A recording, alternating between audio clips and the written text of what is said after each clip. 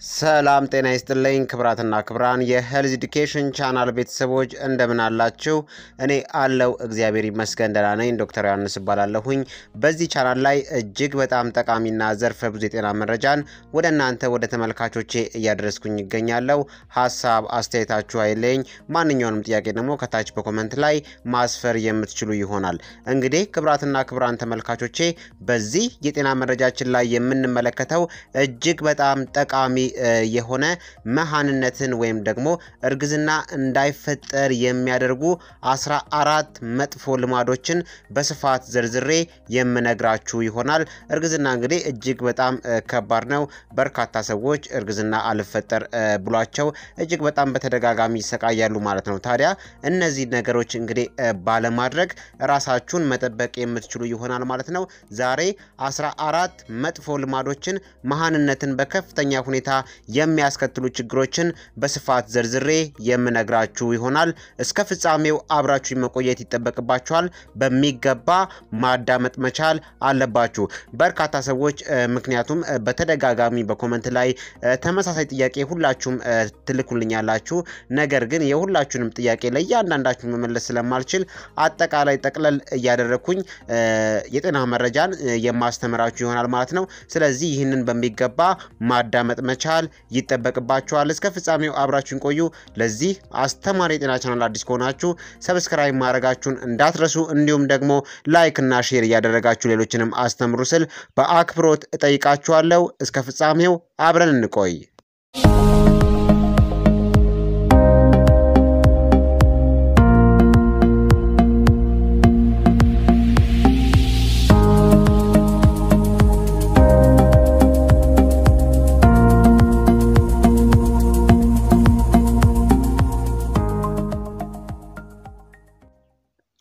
በተለምዶ በርካታ ሴቶች ከእርግዝና ጋር ችግር ሲገጥማቸው ይስተዋላል። በተደጋጋሚ እንግዲህ እርግዝና እንደምታስቡት ቶሎ ላይፈጠር ይችላል፣ ጊዜያትን ሊወስድ ይችላል። እንዲሁም ደግሞ ሙሉ በሙሉ እርግዝና የማይፈጠርበት ምክንያቶችም ሊኖሩ ይችላሉ። ታዲያ ለእነዚህ ምክንያቶች ዋነኛው መንስኤ ምን መሰላችሁ? በተፈጥሮ የምታደርጓቸው አላስፈላጊ ነገሮች ናቸው። እነዛ ሳታውቁ የምታደርጓቸው ነገሮች እርግዝና ቶሎ እንዳይፈጠር ወይም ደግሞ መሃንነትን ሙሉ በሙሉ ሊያስከትልባችሁ ይችላል። በጣም በከፍተኛ እንግዲህ በትዳር ከቆያችሁ በኋላም እንዲሁም ደግሞ በፍቅር ከቆያችሁ በኋላም እርግዝና የማይፈጠርበት በርካታ ምክንያቶች በተፈጥሮ ከምታደርጓቸው ነገሮች ጋር የሚያያዙ ይሆናሉ። እነዚህን በስፋት እንመለከታለን። ጤናማ የአኗኗር ዘይቤ መጀመር ወይም መጥፎ የሆኑትን መተው አጠቃላይ ጤናችሁን በጥልቅ ሊያሻሽል ይችላል። እናም አንዳንድ የአኗኗር ዘይቤ ለውጦች በእናንተና በባልደረባችሁ ውስጥ ያለውን የመራባት ችሎታ ሊያሻሽሉ ይችላሉ። የዕለት ተዕለት ልማዳችን ሳናውቀው በጤና እና ደህንነታችን ላይ ተጽዕኖ ያሳድራል። በተለያዩ የአኗኗር ዘይቤዎቻችን የሚጎዳው የጤንነታችን አንዱ የመራባት ገጽታ ነው። የአኗኗር ዘይቤዎችና ውሳኔዎች በጤና ላይ እና በመውለድ ላይ ትልቅ ተጽዕኖ አላቸው። እነዚህ ሳናውቅ በጤናችን ላይ ተጽዕኖ የሚያደርጉ ድብቅ ውጤቶች ሊኖራቸው ይችላል። እንደ ማጨስ ወይም የአልኮል ሱሰኝነት ያሉ እንደ ከመጠን ያለፈ ውፍረት ወይም የተመጣጠነ ምግብ እጥረት እና ሌላው ቀርቶ የእድሜ መግፋት በመውለድ ላይ ተጽዕኖ እንደሚያሳድሩ በሚገባ ማወቅ አለባችሁ። እስቲ አሁን አንድ በአንድ ሁሉንም እርግዝና እንዳይፈጠር የሚያደርጉ ወይም ደግሞ መሃንነትን የሚያስከትሉ መጥፎ 14 ልማዶች ምንድናቸው የሚለውን አንድ በአንድ ዘርዝሬ የማስረዳችሁ ይሆናል። አንደኛ ውፍረት ነው። ከመጠን በላይ መወፈር በወንዶችና በሴቶች ላይ የመውለድ አቅምን በከፍተኛ ሁኔታ ይነካል። ይህንን በሚገባ መገንዘብ አለባችሁ። በሴቶች ላይ የሚያስከትለው ችግር በሴት የመውለድ ሁኔታ የሴቷ ክብደት በሆርሞን ምርቷ ላይ ከፍተኛ ተጽዕኖ ሊያሳድር ይችላል። ጉልህ ሆኖ ሳለ የሰውነት ክብደት ወይም ከመጠን በላይ መወፈር መደበኛውን ኦቭሬሽንን ይከላከላል እናም ለወር አበባ መዛባት አስተዋጽኦ ያደርጋል። ወፍራም የሆነች ሴት ለማርገዝ በማርገዝ መደበኛ ክብደቷ ክብደት ካላት ካላት ሴት የበለጠ ጊዜ ሊወስድባት ይችላል። እናም ከመጠን ያለፈ ውፍረት የጽንስ መጨናገፍ እድልን ይጨምራል። ከመጠን በላይ ወፍራም የሆኑ ሴቶች በ polycystic ovarian syndrome ወይም ደግሞ በ PCOS የሆርሞን ችግር ይሰቃያሉ። ይህ ደግሞ የመውለድ ችሎታን ይነካል ማለት ነው። ስለዚህ ከፍተኛ ውፍረት ያላችሁ ሴቶች እጅግ በጣም በከፍተኛ ሁኔታ እርግዝና ላይፈጠር ይችላል። ምክንያቱም ብዙ ችግሮች ሊፈጠሩ ይችላል። የወር አበባ መዛባት ሊከሰት ይችላል። የወር አበባ ተዛባ ማለት ደግሞ በትክክል መቼ ግንኙነት ማድረግ እንዳለባችሁ እንዲሁም ደግሞ ovulate የምታደርጉበትን ጊዜ አታውቁም። በተጨማሪ የሆርሞን መዛባት ችግር ከተከሰተ PCOS ወይም ደግሞ polycystic ovarian syndrome የምንለው እጅግ በጣም አንደኛ የሆነው መሃንነትን የሚያስከትል የሆርሞን ችግር ይከሰታል። ለዚህ የምትጋለጡ ይሆናል። ስለዚህ በተቻላችሁ መጠን ጤናማ የሰውነት ክብደት እንዲኖራችሁ ይመከራል። በወንዶች ላይ ደግሞ የሚያስከትለው ችግር ወፍራም የሆኑ ወንዶች የቴስቴስትሮን መጠን በመቀነሱ ይሰቃያሉ። እናም ከፍተኛ ተጋላጭነት ያላቸው የወንድ ዘር ፍሬዎችን የመፍጠር እና የወንድ የዘር ጥራትን ይቀንሳል። ከመጠን በላይ መወፈር በወንዶች ላይ የጾታ ስሜትን ይቀንሳል። ስለዚህ መወፈር በወንዶችም በሴቶች ላይም የመራባት ሁኔታን ይነካል። ስለዚህ በተቻለ መጠን ጤናማ የሆነ body mass index ወይም ደግሞ BMI ላይ መገኘት ይጠበቅባቸዋል። ጤናማ የሆነ body mass index ወይም ደግሞ የሰውነት ክብደት ስንት ነው የሚለውን ከዚህ በፊት ቪዲዮ ሰርቻለሁ። በተቻላችሁ መጠን profile ኤ ላይ በመግባት ሙሉ መረጃውን የምታገኙ ይሆናል። ሁለተኛ የእርግዝና ችግር ደግሞ የእድሜ ችግር ነው። አንዳንድ ሴቶች እንግዲህ ባለማወቅ የእድሜ ችግራቸውን ወይም ደግሞ የእድሜያቸው ጊዜያቸውን ሊያሳልፉ ይችላሉ በተለያየ ምክንያት እንግዲህ እድሜ ሊያልፍ ይችላል። በኢኮኖሚም ሊሆን ይችላል፣ በስራ ምክንያትም ሊሆን ይችላል። በበርካታ ሁኔታዎች ሊከሰት ይችላል። ነገር ግን ማወቅ ያለባችሁ ነገር አለ። በእድሜ የገፉ ሴቶች የመፀነስ እድላቸው ላይ ተጽዕኖ ከማድረግ በተጨማሪ በዘር የሚተላለፉ ወይም ሌላ ውስጣዊ ተጽዕኖ ያላቸውን ልጆች የመውለድ እድላቸው ከፍተኛ ነው። በተጨማሪም የጽንስ መጨናገፍ የመጋለጥ እድላቸው ከፍተኛ ነው። ሴቶች የመውለድ አቅማቸው ከ30 ዓመት በኋላ እየቀነሰ ይመጣል። በተለይ ከ35 ዓመት በኋላ በርካታ ሴቶች የመፀነስ ችግር ያጋጥማቸዋል። እንደ ሰዎች ልዩነት ማረጥም አስቀድሞ ከ35 ጀምሮ ሊከሰት ይችላል። እድሜ ከሰላሳዎቹ በላይ እየሆነ ሲመጣ ለመራባት የእንቁላል ጥራትና መጠን ማነስ ይከሰታል። የእንቁላል ጥራትና መጠን ማነስ ካለ ሴት ልጅ ለማርገዝ ትቸገራለች። ስለዚህ በተቻለ መጠን ለማርገዝ በሀያዎቹ እድሜዎች ውስጥ ቢሆን ተመራጭነት አለው። ይህ የእድሜ ክልል ለማርገዝ ከፈለጋችሁ ውጤታማና ስኬታማ የእድሜ ክልል ነው። ወንዶችና ሴቶች በሀያዎቹ እና በአርባዎቹ መገባደጃ ላይ የመራባት አቅማቸው በእጅጉ ይቀንሳል። የሀያዎቹ ዓመታት ለሴቶች ለመራባት ተስማሚ እድሜ ናቸው። አንዲት ሴት በሰላሳዎቹ እድሜ አጋማሽ ላይ ስትደርስ ጥራቱ እንዲሁም በእሷ ውስጥ ያሉ እንቁላሎች ቁጥር መቀነስ ይጀምራል። በወንዶች ውስጥ የወንድ የዘር ጥራት ከእድሜ ጋር ይቀንሳል። ምንም እንኳን አንዳንድ ሴቶች በአርባዎቹ እድሜ ውስጥም እንኳን ወጣት ሊመስሉ ቢችሉም ይህ ማለት ግን በሀያዎቹ እድሜ ውስጥ እንዳሉት ሴቶች ለም ናቸው ማለት አይደለም። የጉርምስና ወቅት ከጀመረ በኋላ ወንዶች በሕይወት ዘመናቸው ሁሉ የወንድ የዘር ፍሬ ማምረት ይችላሉ። ሆኖም ግን ከእድሜ ጋር የተያያዙ የራሳቸው ችግሮችና ጉዳቶች አሏቸው። እያደጉ ሲሄዱ ለወንድ የዘር ፍሬ ማምረትና ብስለት ተጠያቂ የሆኑ ህዋሶች Sertoli እና Leydig በ testes ውስጥ በአቅም ማሽቆልቆልና በቁጥር እየቀነሱ ይሄዳሉ። ስለዚህ ምንም እንኳን በእድሜ የገፉ ወንዶች የወንድ ዘር ፍሬዎች ወይም ደግሞ sperm ን ማምረት ቢችሉም እነዚህ ጉድለቶች ሊኖሩባቸው ይችላሉ። ይህም የመውለድ ችግር ሊያስከትል ይችላል። የብልት መቆም ችግር እድሜያችሁ እየጨመረ በሄደ ቁጥር ስርጭቱ እየጨመረ በመምጣቱ በግንኙነት አሰራር ላይ ችግር በመፍጠር ወደ መሃንነት የሚዳርግ ችግር ነው። ሴቶች በተወለዱበት ጊዜ በኦቫሪያቸው ውስጥ የተወሰነ ቁጥር ያላቸው እንቁላሎችን ይይዛሉ። ከነዚህ ከነዚህ እንቁላሎች መካከል አንዱ እንደ መደበኛ የእንቁላል ዑደት አንድ አካል በየወሩ ይለቀቃል። ስለዚህ በየወሩና በየዓመቱ ውስጥ በእንቁላል ውስጥ ያሉ እንቁላሎች እየቀነሱ እና የመፀነስ እድላቸውም እየቀነሰ ይሄዳል። በሴቶች ላይ የመራባት አቅም በእድሜ የተገደበ ነው። ምክንያቱም በማህፀን ውስጥ ያለ ህፃን ውስጥ የጀርም ሴሎች የበሰሉ እንቁላሎችን የሚፈጥሩ ሴሎች ማባዛት በ20 ሳምንታት ውስጥ ይቆማል። እድሜያችሁ በሀያዎቹ ውስጥ ሆኖ ለተከታታይ አንድ ዓመት ሞክራችሁ እርግዝና ካልተፈጠረ እናም እድሜያችሁ ከ35 ዓመት በላይ ሆናችሁ ለተከታታይ ስድስት ወራት እርግዝና ሞክራችሁ ካልተሳካ ሕክምና ማድረግ ይጠበቅባችኋል። ፈጽሞ ጊዜን አትስጡ። መካንነት የበለጠ ከባድ የጤና ችግር ምልክት ሊሆን ይችላል። እናም ቢያንስ አንዳንድ መሰረታዊ ምርመራዎችን መደረግ አለባቸው። በተጨማሪም ዶክተራችሁ የ FSH እና AMH መጠናችሁን መፈተሽ አለበት። የ FSH መጠናችሁ ከመደበኛው በላይ ከሆነ ለማርገዝ መሞከር ብዙ ጊዜ ላይኖራችሁ ይችላል። ጊዜ ከማባከን ችግሩን ማወቅና ወደ ተሻለው የመውለድ አማራጭ መሄድ ተመራጭነት አለው። IVF እና IUI ወይም ደግሞ intrauterine insemination እና in vitro fertilization በዚህ ጊዜ መሞከር ውጤቱን የተሻለ ያደርግላቸዋል። ነገር ግን ውድ የወሊድ ቴክኖሎጂዎች መሆናቸውንም ማረጋገጥ ወይም ደግሞ ማወቅ አለባችሁ።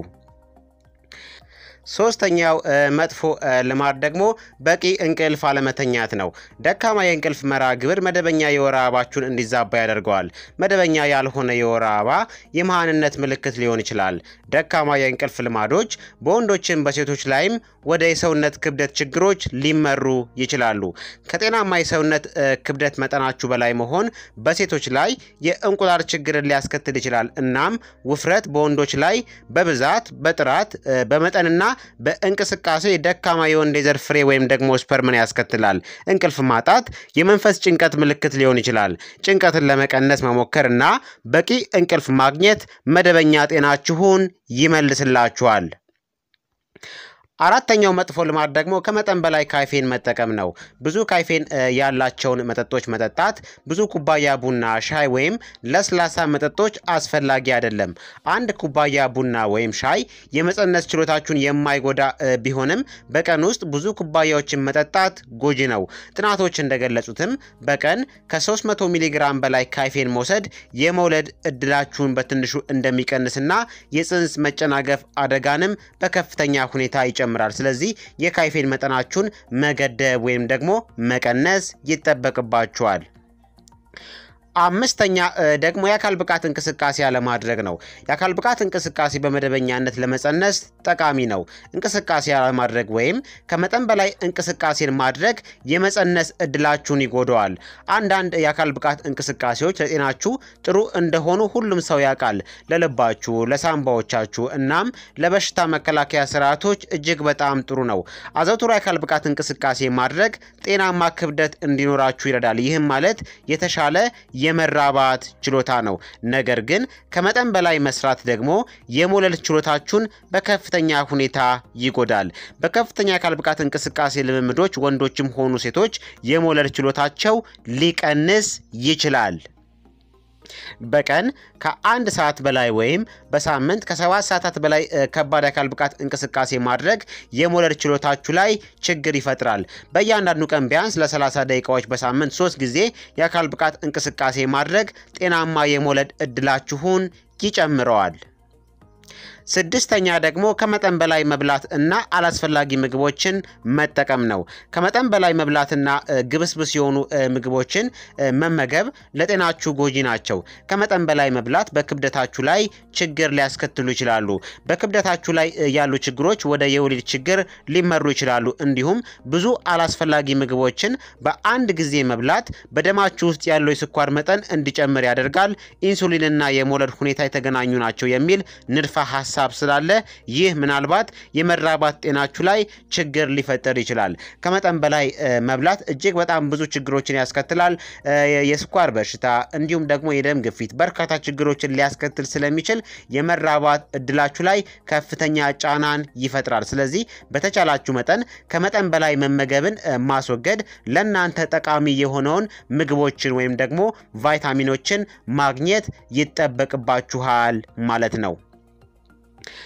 ሰባተኛ ደግሞ የሆርሞን አለመመጣጠን ነው። የሆርሞኖች መዛባት የሚከሰተው በውጥረት፣ በእንቅልፍ እጦት እና በመሳሰሉት ምክንያት ነው።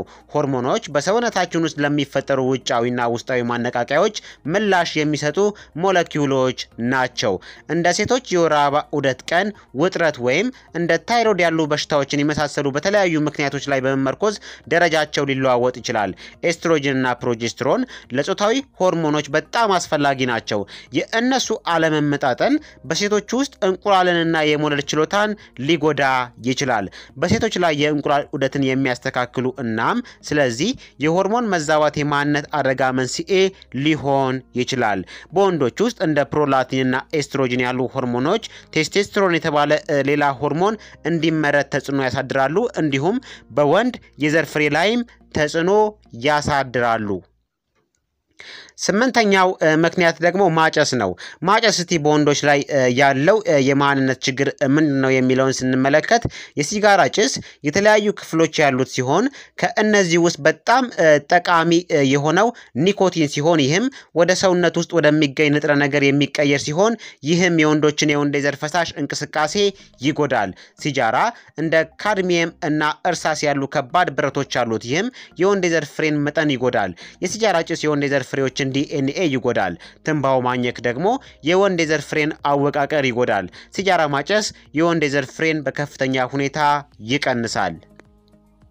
ማጨስ ደግሞ በሴቶች ላይ ሲጃራ ማጨስ የሴቷን ovary ያስረጃል። እናም እንቁላሎቿን ያለ ጊዜው ከሌሎች የጤና ችግሮች ጋር ያሟጥጣል። ስለዚህ አንዲት ሴት ጤናማ እንቁላል ከሌላት ለማርገዝ ትቸገራለች።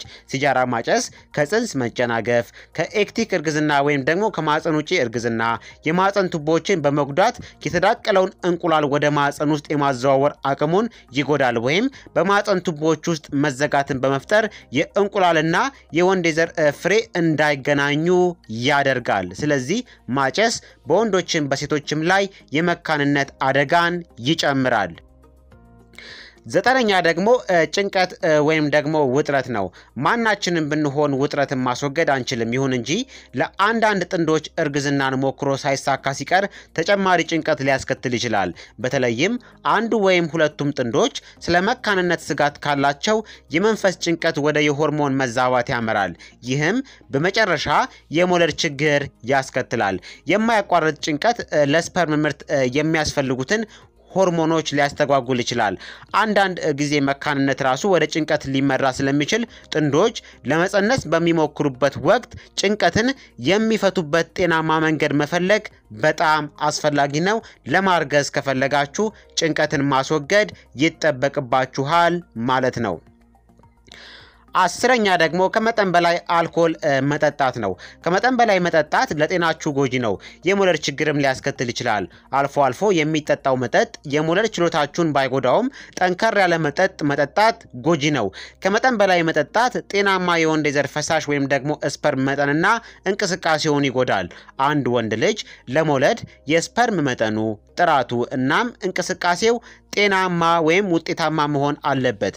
ካልሆነ እርግዝና ችግር ይሆናል። በሳምንት ሶስት ጊዜ እና ከዚያ በላይ የሚጠጡ ሴቶች ለማርገዝ ብዙ ጊዜ ይወስድባቸዋል። ሴቷ አስቀድሞ የመፀነስ ችግር ካጋጠማት በተለይ ጎጂ ነው። መጠጣት እንግዲህ በሴቶች ላይ ጥናቶች እንደሚያሳዩት አልኮል አብዝቶ መጠጣት የስቴሮይድ ሆርሞኖችን መጠን እንደሚቀንስ፣ ይህም የጾታ ሆርሞኖችን ይጨምራል። በሴቶች ላይ ያልተለመደ የወር አበባ ዑደትን ያስከትላል። አልኮል ሲጠጣ ወደ ንጥረ ነገር ይለወጣል። በዲኤንኤ እና ፕሮቲኖች ላይ ኦክሳይድ ጉዳትን የሚያስከትሉ ማለት ነው። ovulation ን disorder ከመጠን በላይ በመጠጣት ይጨምራል። ለማርገዝ የሚሞክሩ ሴቶች አልኮል መጠጣትን ሙሉ በሙሉ ማቆም አለባቸው።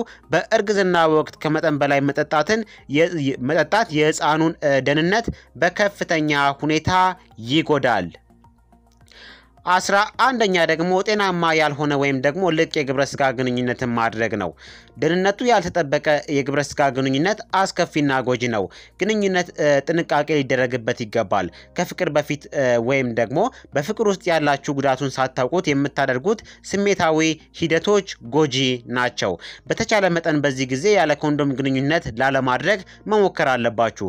በጾታዊ ግንኙነት የሚተላለፉ በሽታዎች ወደ መሃንነት ሊመሩ ይችላሉ። የአባላዘር በሽታዎች የመሃንነት መንስኤዎች ናቸው። እንደ ክላሚዲያና ጨብጥ ሕክምና ካልተደረገላቸው ወደ pelvic inflammatory disease ወይም ደግሞ PID ሊመሩ ይችላሉ። PID በሴቶች ላይ የመሃንነት ሁኔታን ሊያስከትል ይችላል። ብዙውን ጊዜ የተዘጉ የማህፀን ቱቦችን በማምጣት ማለት ነው። የማህፀን ቱቦ በጣም በጣም በተደጋጋሚ የሚከሰትባችሁ በ pelvic inflammatory disease ወይም ደግሞ በ PID አማካኝነት ነው። የአባላዘር በሽታዎች በወንዶች ላይ ወደ መሃንነት ሊመሩ ይችላሉ፣ ምንም እንኳን ብዙም ያልተለመደ ቢሆኑም። ምክንያቱም ወንዶች በተለምዶ የአባላዘር በሽታ ምልክቶች ወዲያውኑ ሊያያሉ እናም ሕክምና ሊያገኙ ስለሚችሉ ነው። በሌላ በኩል ሴቶች ምንም ምልክት ሳይታይባቸው ለረጅም ጊዜ በኢንፌክሽን ሊያዙ ይችላሉ። በተጨማሪም ኢንፌክሽኑ በመራቢያ ስርዓታቸው ላይ ከፍተኛ ውድመት እያደረሰ ነው። አንዳንድ የአባላዘር በሽታዎች እንደ ቂጥኝና ሄርፐስ እርግዝናን ወይም ህፃኑን ሲወለዱ ለአደጋ ሊያጋልጡ ይችላሉ። በጣም በከፋ ሁኔታ ውስጥ እነዚህ የአባላዘር በሽታዎች ወደ ጽንስ መጨናገፍ ወይም የጨቅላ ህፃናት ሞትንም ሊያስከትሉ ይችላሉ። ስለዚህ ቢያንስ ቢያንስ የግብረ ስጋ ግንኙነት አጋራችሁን መገደብ ወይም ደግሞ በተቻላችሁ መጠን መመጠን አለባችሁ ከማብዛት መቆጠብ አለባችሁ። ምክንያቱም በግብረ ስጋ ግንኙነት የሚተላለፉ በሽታዎች ስለሚከሰትባችሁ እነዛ ደግሞ ኢንፌክሽንን ይፈጥራሉ፣ የአባላዘር በሽታዎችን ይፈጥሩባችኋል። ከዛም እርግዝና እንዳይፈጠር ያደርጋሉ። አስራ ሁለተኛ ደግሞ ከመጠን በላይ ሙቀት ማግኘት ነው። ከፍ ያለ የሙቀት መጠን በስክሮተም አካባቢ የወንድ የዘር ፍሬን ይቀንሳል። የወንድ የዘር ፍሬ እንዲበስል የ scrotal ሙቀት ከመደበኛው የሰውነት ሙቀት በሁለት ዲግሪዎች በታች መሆን አለበት። ለዚህም ነው የዘር ፍሬው ከዋናው አካል ውጪ በቁርጥማት ውስጥ የሚገኘው። ረጅም ሰዓታት ከመሪው ጀርባ ወይም ከኮምፒውተር ስክሪን ፊት ለፊት መቀመጥ ተቀምጣችሁ ባሳለፋችሁ ቁጥር የ scrotum እናም የቴስትስ ሙቀት በጥቂት ዲግሪዎች ሊጨምር ይችላል። ይህ የሙቀት መጨመር የወንድ የዘር ፍሬያችሁን ሊቀንስና የመራባት ችሎታችሁን ሊቀንስ ይችላል። በሙቅ ገንዳዎች ውስጥ ከመጠን በላይም መቀመጥ ጥሩ አይደለም።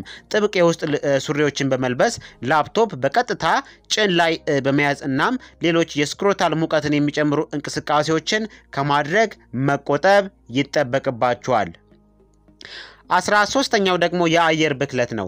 የአየር ብክለት ዝቅተኛ ጥራት ያለው እንቁላል ወይም ስፐርም ለማምረት እናም የፅንስ መጨናገፍ መጠንን እንዲጨምር ያደርጋል። ስለዚህ ጤናማ የአየር ንብረት ያለበት አካባቢ ለመኖር መሞከር፣ በተቻለ መጠን ከፋብሪካዎች አካባቢ መኖርን ማስወገድ። ይህም በአካባቢ ውስጥ ሊገኙ የሚችሉ መርዛማ ንጥረ ነገሮች ለመርዛማ ንጥረ ነገሮች እንዳትጋለጡ ማድረግ አስፈላጊ ነው።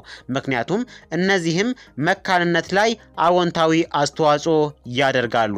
አንዳንድ ኬሚካሎች በወንድ አካል ውስጥ የሴት ሆርሞኖች ተጽዕኖ ሊያመነጩ ይችላሉ። ይህ ደግሞ የወንዱ የዘር ፍሬን ይቀንሳል።